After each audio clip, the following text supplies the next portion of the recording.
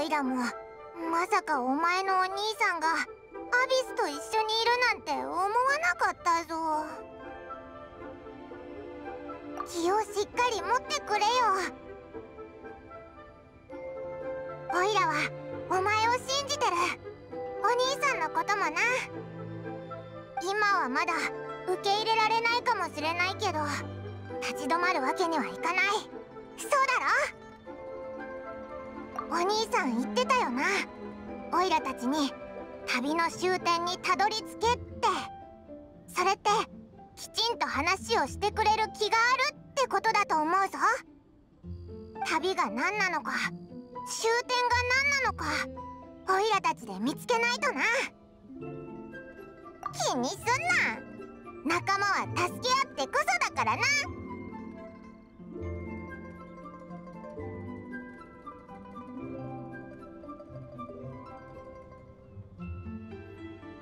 でもこれからどこに行けばいいんだ？旅を続けるなら。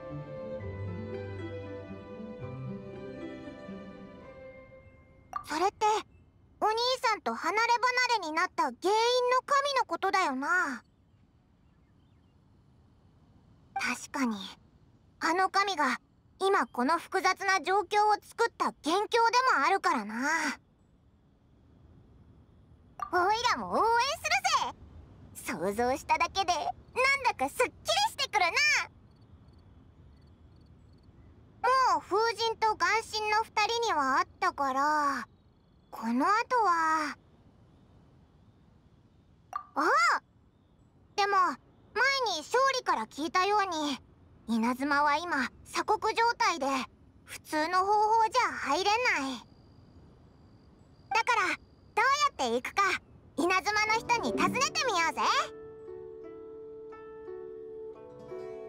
おいらもだ。DU エコーにいる敦子さん。確か稲妻から来た人だったよな。彼女に聞いてみよう。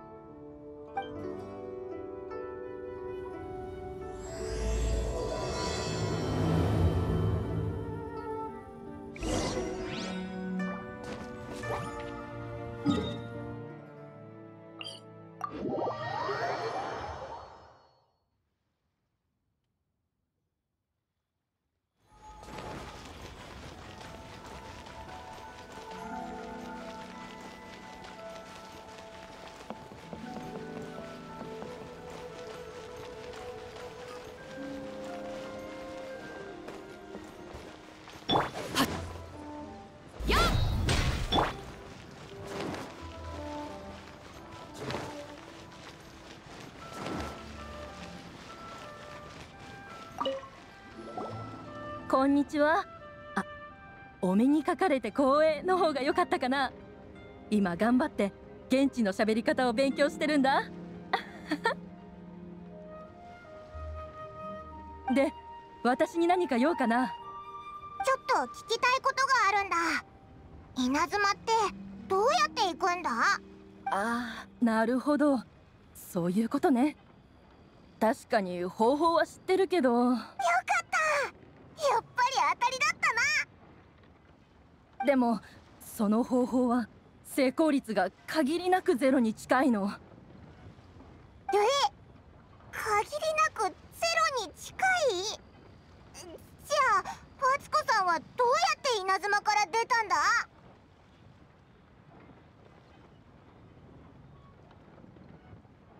その方法を使ったからこそどれほど危険かがわかるんだよあの時頼ることができたのは自分のイカダだけだった。前方には嵐が後方には追っ手がいた。逃げ出した後何日も海を漂流した挙句食料と飲み水が底をついてね。目の前が真っ暗になって気を失ったの。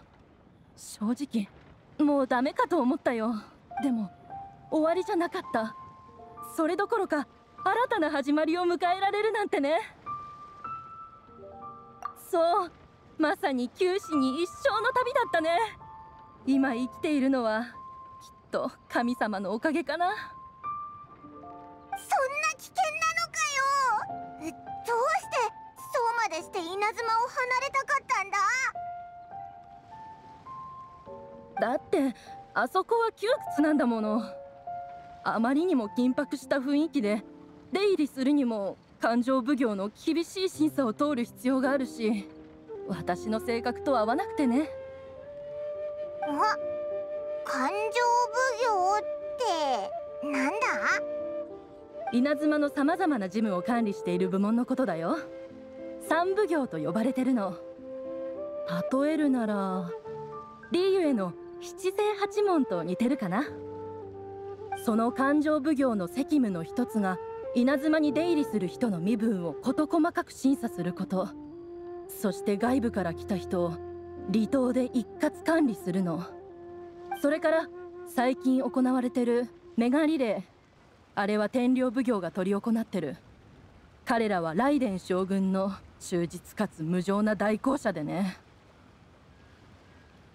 故郷の悪口を言うのはあまり気分がいいものじゃないけどあんな抑圧的な環境に長くいたらその先の生活に期待を持てなくなるのも当然。だからどうしても行かなきゃいけない理由がない限り稲妻に行くのはおすすめしないよ。そう。でも稲妻の近海はやむことを知らない嵐が吹き荒れてるしたとえそれを突破できたとしても鎖国令を実施する武士から逃げないといけない。それら問題をくぐり抜けることができても稲妻にたどり着いた外国人を待ち受けているのは離島。正当性を証明する書類を見せないと追い出されるの。稲妻に人を寄せつけないためにわざとやってるみたいだな。あそこはただ島内の物資の供給と情報の流通を確保するために開かれた港であって普通の外国人じゃ証明書を手に入れることはまず不可能かな。でももし本当にどうしても行きたいのならまだ一つ可能性があるかも。イカダは危険すぎるぞ。それにオイラ多分船酔いするし。違う違う。私が言いたかったのはリーウェでも有名な南十字戦隊に稲妻まで連れて行ってくれないか頼んでみること。あそこって一年中後悔してるし嵐に対する心得もあるはず。突破する方法を知ってるかもしれない。でもあそこって武装戦隊だろ？オイラたちのお願いをそう簡単に聞いてくれるかな？そこはあなたたち次第だね。棟梁の北斗さんを説得できたら可能性はあると思うよ。南十字戦隊の機関市長整合は今幸運閣の近くに停泊してるって聞いたよ。行動するなら今がちょうどいいかも。じゃあ善は急げだな。早速棟梁の北斗に会ってみよう。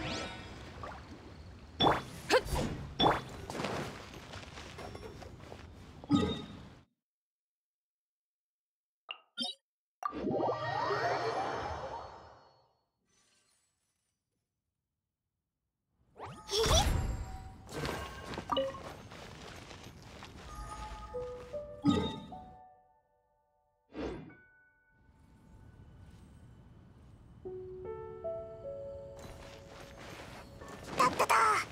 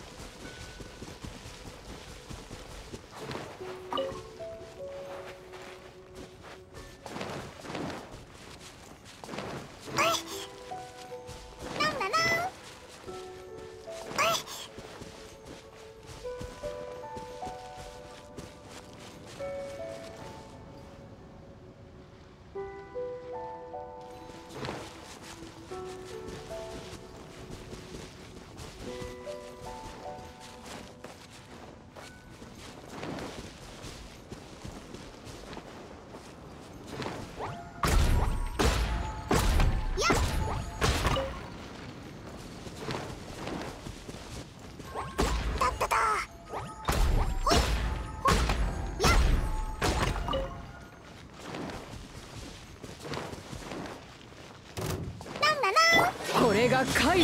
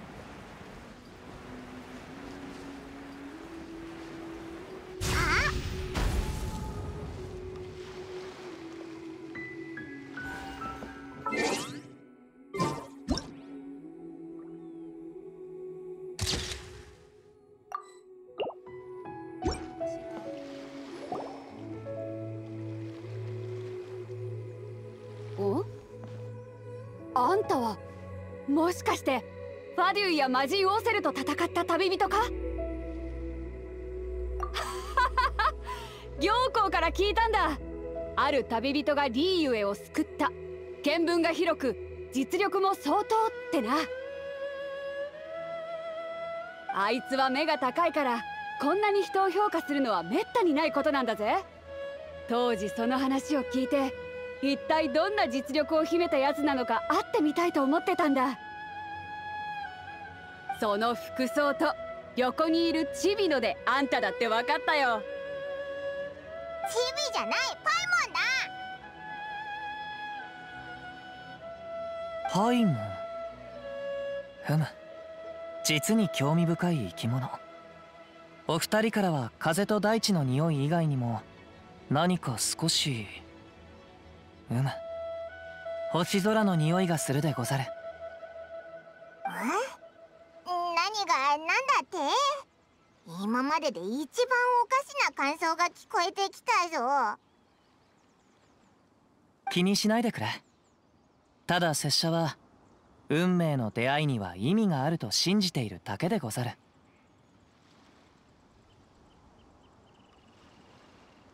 似たようなもんだが稲妻では呼び方がちょっと違う。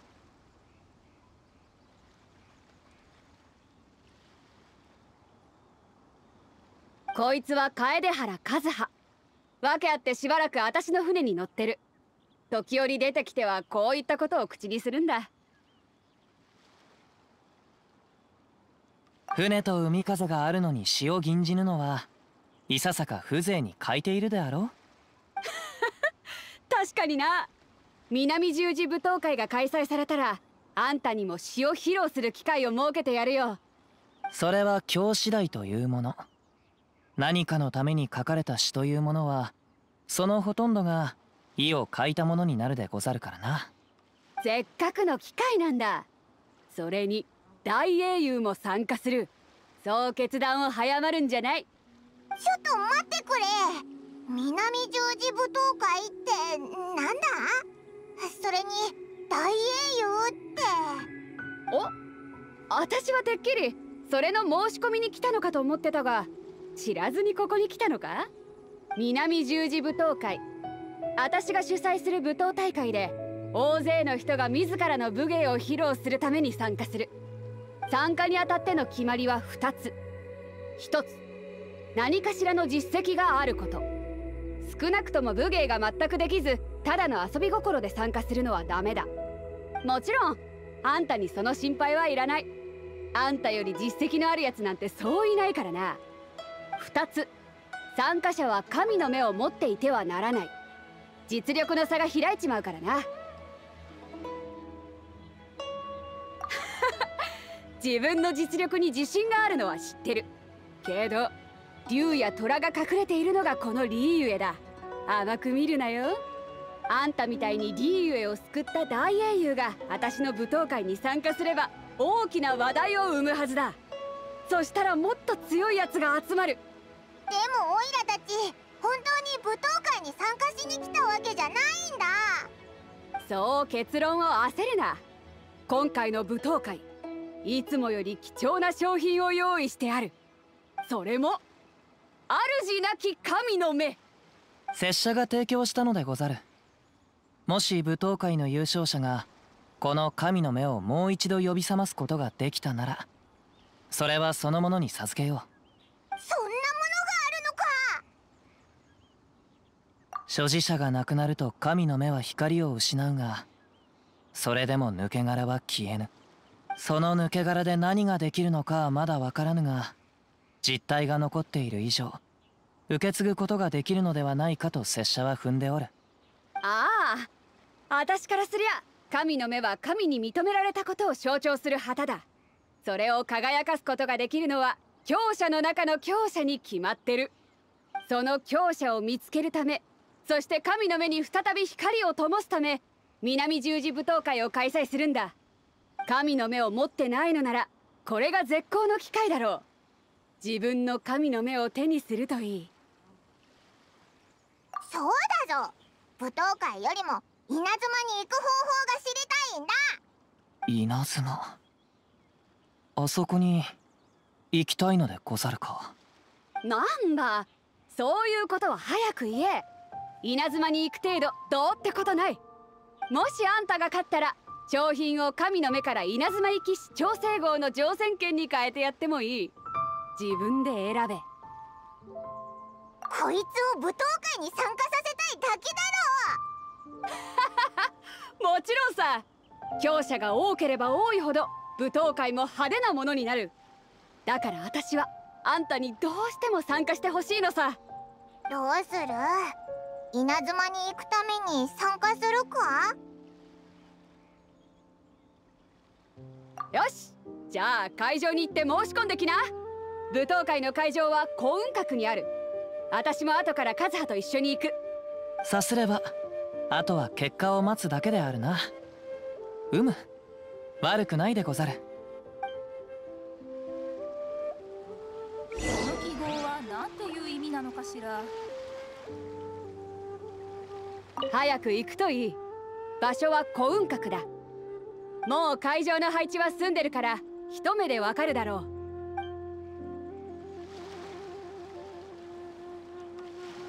う。舞踏会稲妻で流行していた決闘を思い出す。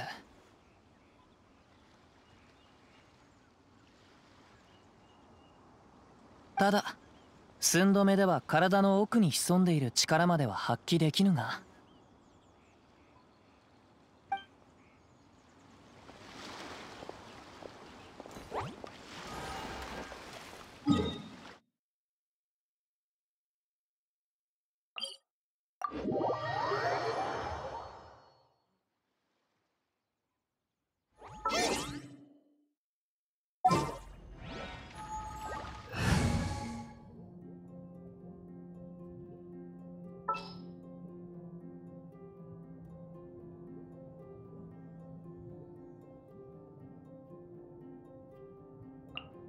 これが運命です。世界は謎だらけだね。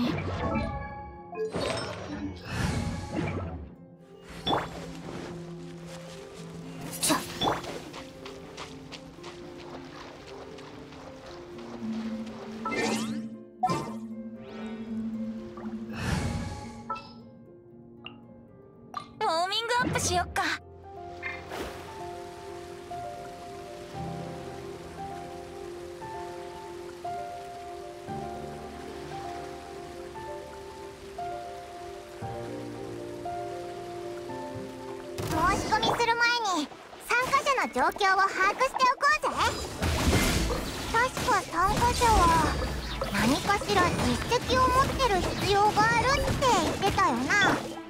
一体どんな人たちなんだろう。やっ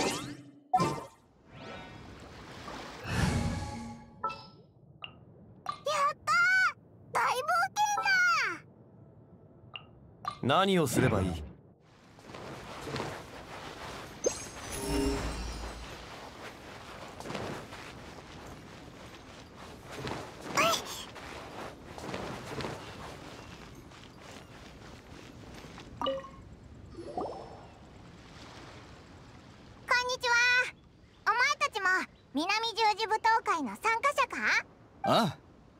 芸を極めるためには実践で経験を積む必要があると。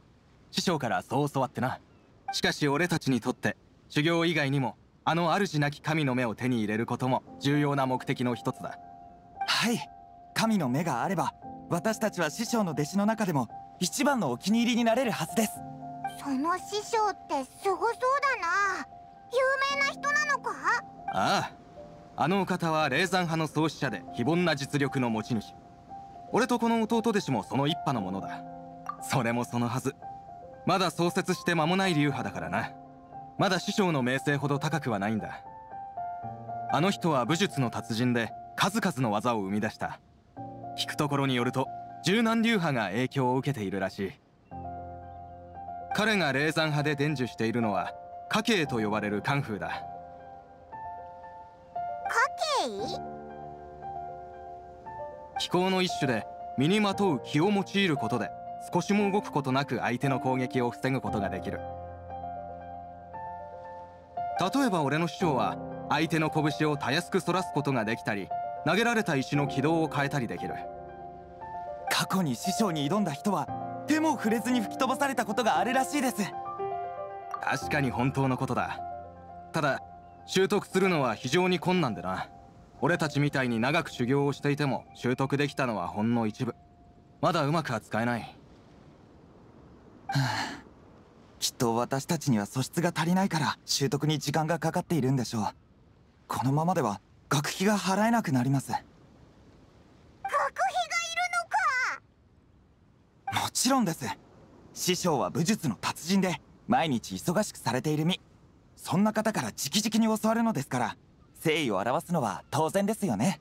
ただ師匠の指導を受けているにもかかわらずいつまでたっても進歩しないから師匠の顔色もだんだんと変わってきた。しかもその後コカ派に神の目を持つ者が加わり流派に大きな進展があったと聞く。ですので私たちも神の目を手に入れたら師匠の機嫌が良くなるのではと思いまして。大丈夫。それに考えられる手は全部試してみるべきだ。そうですね。もし成功すれば霊山派の名が歴史に残ることになります。そうすれば周りから一目置かれるでしょう。リーグへ一の流派になるのも夢ではありません。ああ闘技場で勝負をつけよ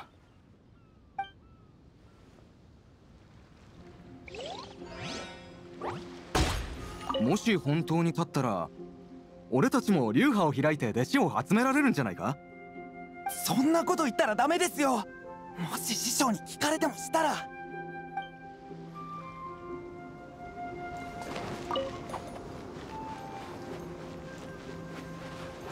ほい。こんにちは。南十字舞踏会に参加しに来たのか？そうだが君たちも申し込んだのか？だったらまずは舞踏会の決まりを見てくるといい。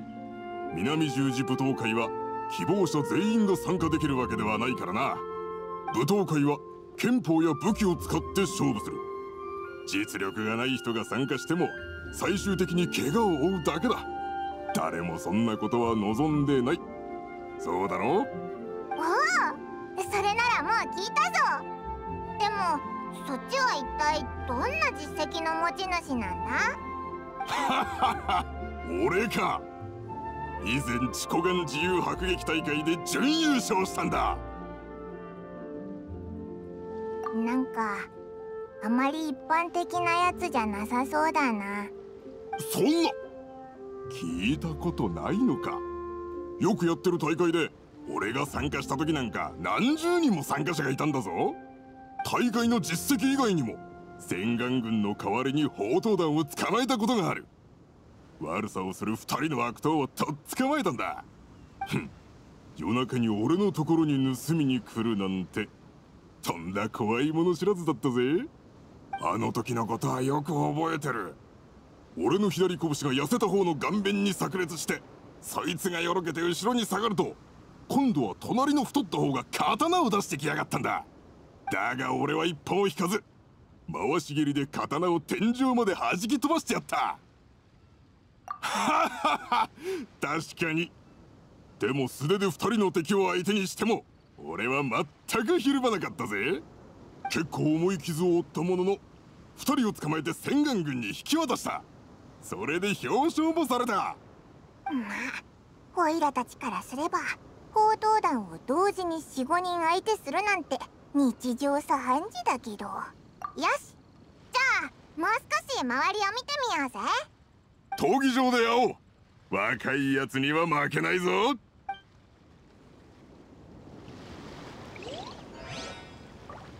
闘技場で会おう。少女よ。機会があれば俺の自慢の足技を披露し。なんだなはじけろ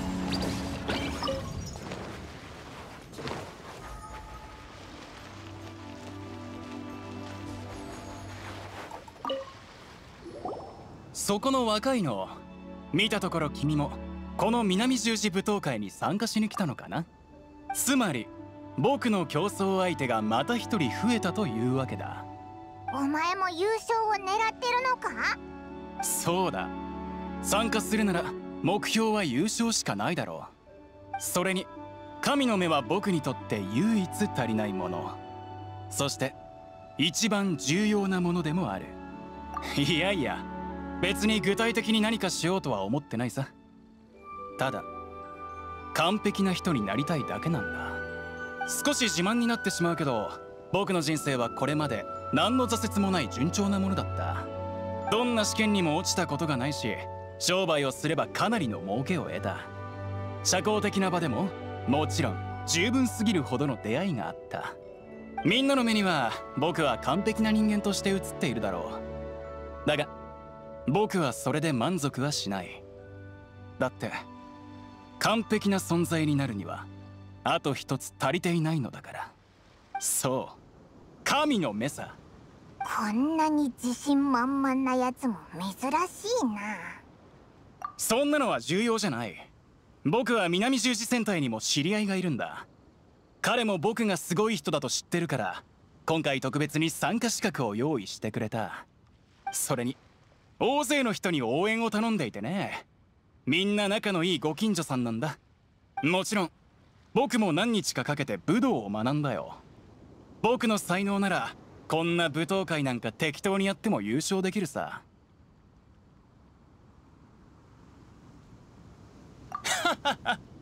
君も僕の特別さに気づいたようだね。でもあまり魅了されないでくれよ。よし僕は試合前の準備をしてくるよ。僕の登場を楽しみに待ってておくれ。なんかみんな自信満々だったり騙されてたり実力が普通だったりで。うーん。お前の方がすごいってことを大声で言ってやりたいぞ。よし。じゃあ舞踏会に申し込みに行こう。